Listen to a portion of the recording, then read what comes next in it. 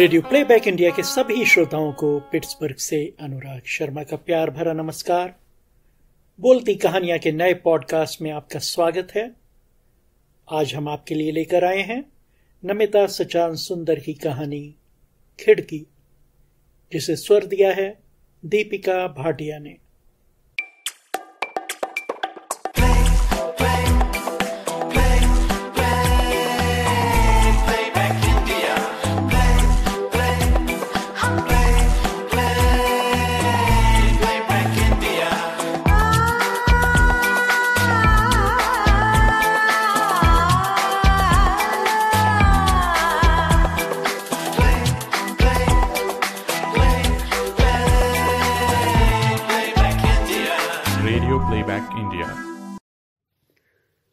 दिनों, उदय की पुरानी किताबों की दुकान मेरी पसंदीदा जगह हुआ करती थी। दुकान भी कहाँ?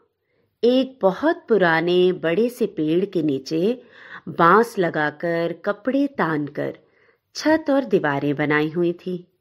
बस वही कुछ गड्डियों में लगी, कुछ ढेर में पड़ी रहती थी किताबें। उदय ये किताबें रद्दी वालों से खरीदता था। स्कूल कॉलेज के पाठ्यक्रम की कोई पुस्तक नहीं होती थी वहाँ। हाँ इंग्लिश, हिंदी के उपन्यास, कविता संकलन, आत्मकथा, ललित लेख, गरज की हर विधा की पुस्तकें कौड़ियों के मूल्य में उपलब्ध हो जाती थी उसके पास। मैं उदय की नियमित ग्राहक थी तो हमारी बातचीत भी काफ़ी होती थी। और कभी कभी उसे लगता था कि कोई किताब मुझे पसंद आ सकती है तो वह उसे बेचने वाली किताबों से अलग करके रख लेता था। और मेरे ना खरीदने पर ही उसे बेचने वाली किताबों में मिलाता था। एक छोटी सी मचिया भी रहती थी उदय की दुकान में, जिस पर बैठकर मैं कई बार बहुत देर तक किताबों को उलटती पलटती रहती थी और उदय से बतियाती भी रहती थी। पिता की असमय मृत्यु के कारण उदय स्कूली पढ़ाई तो बहुत अधिक नहीं कर पाया था, पर किताबों के बीच रहते रहते उसे किताबें पलटने, पढ़ने की आदत पड़ गई थी। इसी वजह से उसकी बातों में परिपक्वता, संवेदनशीलता आ गई थी। उससे बात करना किसी मंचीती किताब में ऊब चूब होने से कम सुख कर नहीं होता था। तो ऐसी ही एक फुर्सतिया दोपहरे में मैं मचिया पर जमी हुई किताबों को खंगाल रही थी और उदय से बतियाती भी जा रही थी कि मेरी दृष्टि पीछे की तरफ़ किताबों से हटकर रखी एक बहुत पुरानी, थोड़ी फटी सी डायरी पर पड़ी। उदय, वह वहाँ पर क्या है? मैंने डायरी की ओर उंगली दिखाकर कहा, दीदी वह किताब नहीं है। हाँ वह तो मुझको भी दिख रहा है, पर है क्या?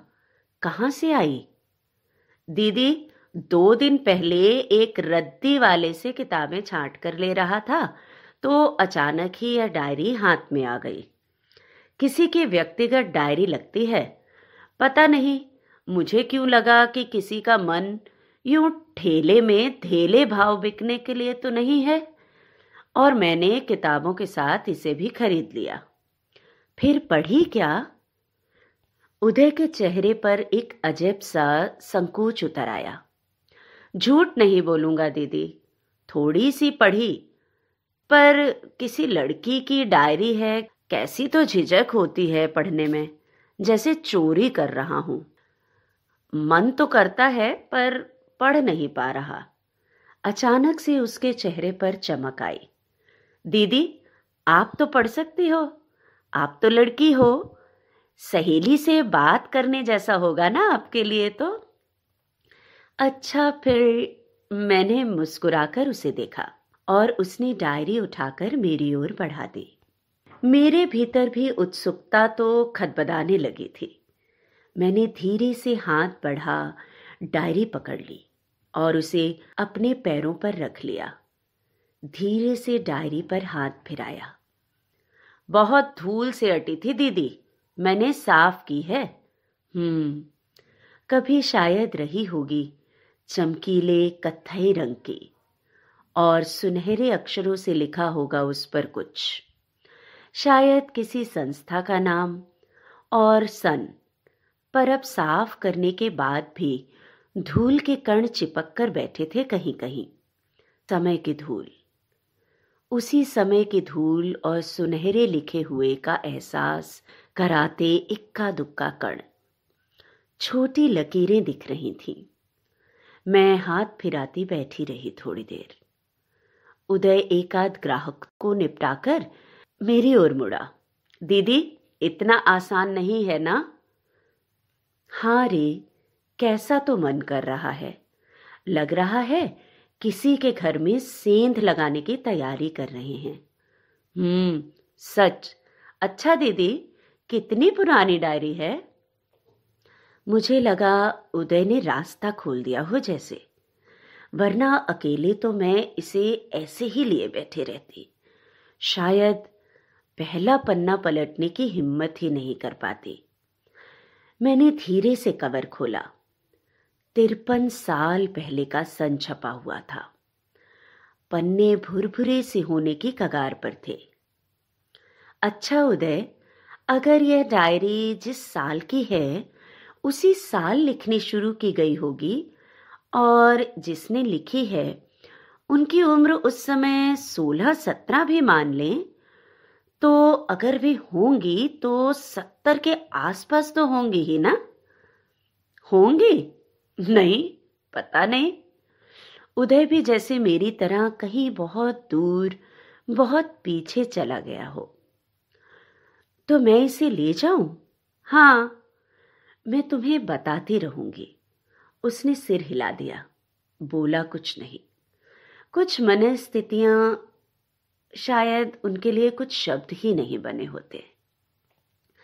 मैंने संभाल कर डायरी पर्स में रखी। और खरीदी हुई किताबें लेकर चल पड़ी। मन भी थोड़ा भारी हो गया था और कदम भी धीरे धीरे उठ रहे थे। कौन होगी वह?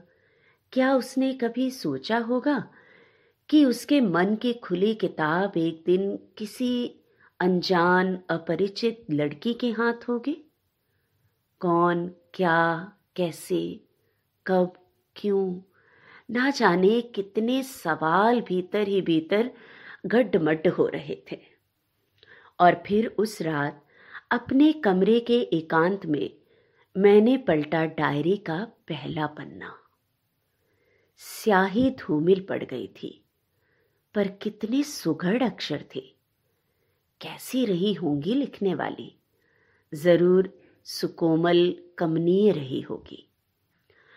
अगर बहुत ज़्यादा नहीं भी पढ़ पाई होगी तो भी किताबों की संगत में ज़रूर रही होगी कभी ना कभी। सहज और भावपूर्ण अभिव्यक्ति तो ऐसा ही कुछ इंगित करती थी। ना तारीखें दर्ज थी, ना सन, ना बहुत ही नियमित तरीके से लिखी गई थी डायरी। शायद इतनी सुविधा समय ही नहीं था लिखने वाली के पास। कि अपने हिस्से का इतना सा सुख भी वो सलीके से जी लेती। टुकड़े टुकड़े में जोड़कर जो तस्वीरें बनी, उससे मैं यही समझ पाई कि वे एक भरे पूरे घर की सबसे छोटी जवान विधवा बहू थी। सारे दिन चक्कर घिन्नी की तरह घर के काम से ऊपर नीचे करती और देर रात दो मंजिली छत की छोटी सी कुठरिया में आ पड़ती। छत भी क्या? उस चौकोर से हिस्से के चारों ओर बहुत ऊँची ऊँची दीवारें थी। आसपास के किसी घर का कोई हिस्सा वहाँ से नज़र ही नहीं आता था। सिवा कुछ दूरी पर बने सकरे, बहुत ऊँचे घर की एक दीवार के, जिसमें जड़ी एक खिड़की कभी खुलती ही नहीं थी। और फिर एक दिन, जब दोपहर वह छत के उस हिस्से के एक कोने में घुटने में सिर डाल के हिलक हिलक कर रो रही थी तो पता नहीं उसे कैसे आभास हुआ कि कोई उसे देख रहा है। मुँह उठाया तो सामने दीवार वाली खिड़की खुली थी और दो आँखें लगातार उसे देख रही थी। पता नहीं उसे क्यों लगा कि ये आँखें उसे पहली बार नहीं देख रही हैं। उसने कभी ध्यान नहीं दिया। कहाँ समय ही रहता है उसके आसपास ध्यान देने का? अपने हाथ, अपनी आँखों तक ले जा आँसू पूछ लेने का इशारा किया। पता नहीं क्या था इस छोटी सी बात में कि उसके होठों पर हल्की सी मुस्कान आ गई और उसने आँसू पोंछ लिए। आगे के कुछ पन्नों में कुछ कुछ पंक्तियाँ लिखी गई थी और फिर बहुत ज़ोर से आगे पीछे लाइनें करके काटी गई थी। जैसे होता है ना कभी कभी कि मन में जो कुछ कह रहा होता है, वह हम समझ रहे होते हैं, पर सुनना बिल्कुल नहीं चाहते। कुछ जो उग रहा होता है हल्का हल्का उस पर कस कर बुलडोजर चलाने जैसा। एक पन्ने पर लिखा था, कैसे नीचे तुलसी के घेरे में एक नया नन्हा सा पौधा निकल कर आया था और वह सास से अनुरोध कर छत पर गमले में लगाने को ले आई थी। बात धार्मिक मान्यताओं की थी तो सास मना नहीं कर पाई थी और फिर कुछ देर को शाम को भी छत पर जाने का नियम बन गया। वह दिया जलाती थी तो दो हाथ उधर भी जुड़ जाते थे। रिश्ते भी ना जाने कैसे कैसे जुड़ जाते हैं। यही बात हमने कही थी उदय से, उस दिन, और उसने ललक कर समर्थन किया था। सो तो है दीदी, अब देखिए ना दीदी, जिनकी डायरी है, उन्हें तो हम आप बिल्कुल भी नहीं जानते। लेकिन उनसे भी तो कैसा रिश्ता जुड़ गया है?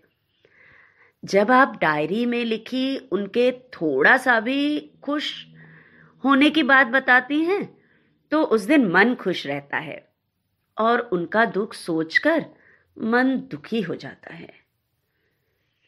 किताबों की संगत सच आदमी को बहुत संवेदनशील और समझदार बना देती है।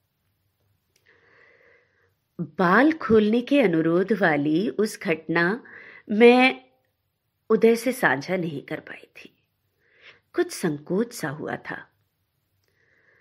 पर उस दिन मेरे अपने मन में सारे दिन जैसे फुहारें झरती रही थी।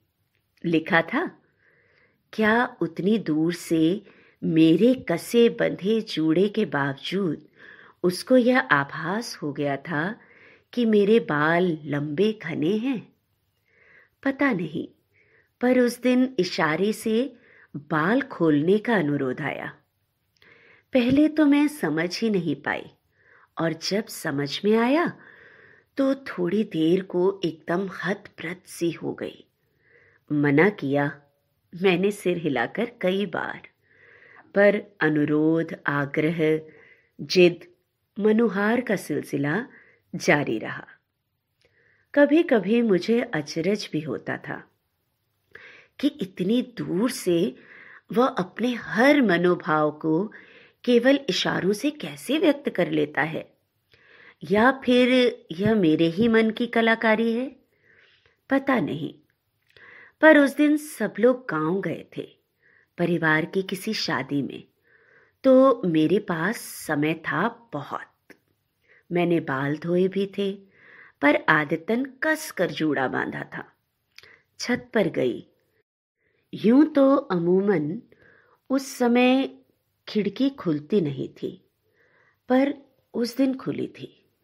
उसने फिर अपना अनुरोध दोहराया। उसे पता नहीं था उसका वह अनुरोध मेरे भीतर कितना दर्द जगाता था। आकाश को भी मेरे खुले बाल कितने पसंद थे। भी जब सामने होते थे तो मेरे बाल बंधे रह ही नहीं पाते थे। मेरे खुले बालों में चेहरा छुपाना, ज़ोर की सांस ले गुनगुनाना आकाश के प्रिय शगल थे। आकाश के ना रहने पर अम्मा जी ने कितने ताने दिए थे कि सधवा औरतों का खुले बाल घूमना कितना बड़ा अपशगुन होता है। यही सब हरकतें डस गई। उनके लड़के को, और भी न जाने कितना और क्या क्या वो तो आकाश के आखिरी शब्द थे, और वह भी उन्होंने अपनी अम्मा से ही सबके सामने कहे थे कि अगर मेरे बालों को कुछ नुकसान पहुँचाया गया तो उनकी आत्मा को कभी शांति नहीं मिलेगी। बड़बड़ाती रही थी अम्मा बहुत दिन। कि पता नहीं यह लड़का कैसे मन पढ़ लेता था। जा रहा था, पर चिंता थी बालों की, जैसे उन्हीं में जान बसती हो। पर इन सब के बावजूद उन्होंने मेरे बालों के बारे में उस दिन के बाद कुछ नहीं कहा था। आखिर माँ है ना? जाते हुए बेटे के शब्द तो सुनी रातों में उनके कानों में भी गूंजते होंगे।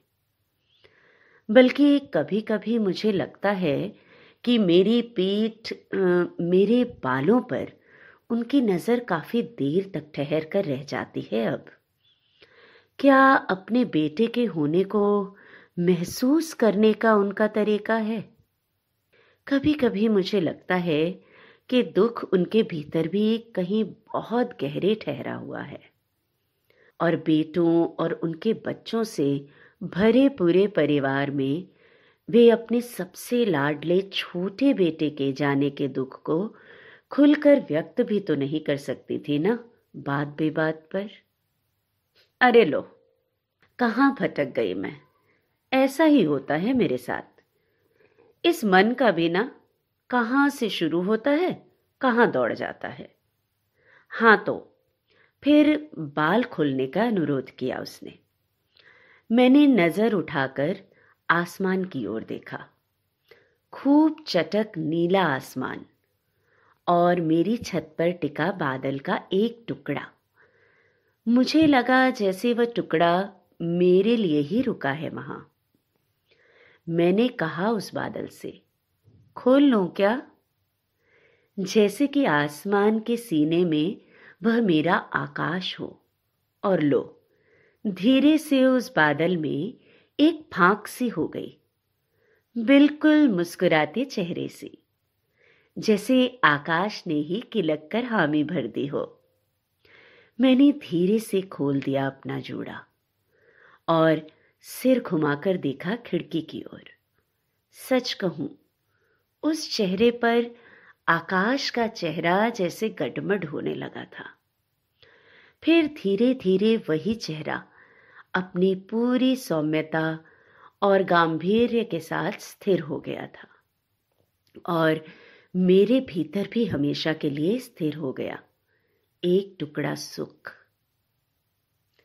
यह उस डायरी का सबसे लंबा वृतांत था। शायद वह उस दिन सच में फुर्सत में थी। घटनाक्रम जैसा तो कुछ नहीं था उस डायरी में, पर हाँ, फुटकर वाक्य थे। खुशी झलकाते। एक पन्ने में था, आजकल मेरी छत की धूप में चमक बढ़ गई है। मुझे लगा था लिखते समय वह ज़रूर हल्का हल्का मुस्कुरा रही होगी, या फिर हो सकता है कुछ गुनगुना भी रही हो। हाँ एक पन्ना और था। चाँद की रोशनाई में कलम डुबो कर लिखा गया। सर्दियों के महीने की पूरी चाँद वाली रात थी और उधर खिड़की बंद ही नहीं हो रही थी। इधर से ये अनुरोध कर रही थी खिड़की बंद कर लेने का, पर उधर तो जैसे ना सुनने की कसम खाई हो। ऐसे भी कोई करता है भला? कैसी तो ठंड है, तबीयत खराब हो जाएगी, पर उधर उधर से तो ना तो ना।